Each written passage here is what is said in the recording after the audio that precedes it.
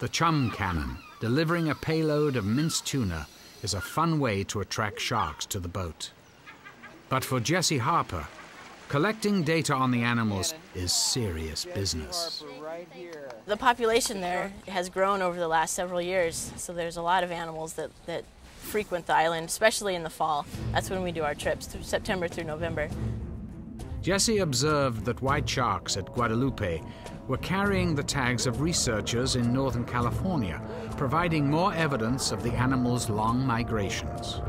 Some of the sharks we do see have tags on them, which uh, is proof that they've been studied by other people in other places, such as those satellite tags that they've been using up north and other identification tags that they have.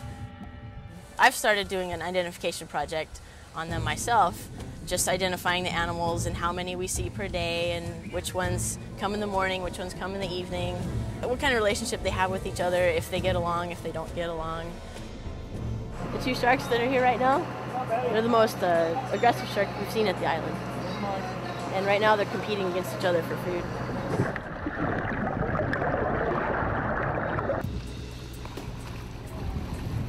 Some animals will, will be very dominant, very aggressive. They'll come at the bait several times over and over and over.